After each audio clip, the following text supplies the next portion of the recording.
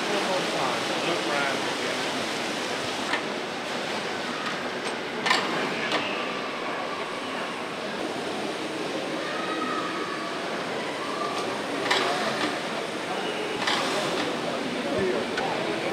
This steam engine it made a significant difference because it was the blueprint to all modern steam engines that came after it.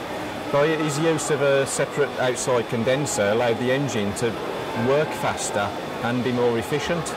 So it could do more work for less coal use, firing the boiler. It became a serious proposition then for powering up small factories, mills throughout the land, which really started the Industrial Revolution.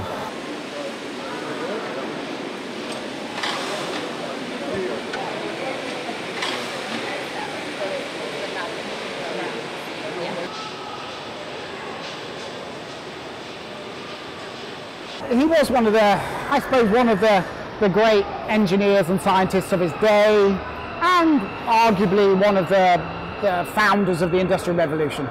James Watt's partnership, particularly with Matthew Boulton, was hugely important for the Industrial Revolution in Birmingham. The work they did together at the Soho Foundry really, really um, almost catalysed the Industrial Revolution and the amount of power that could be uh, used with steam engines.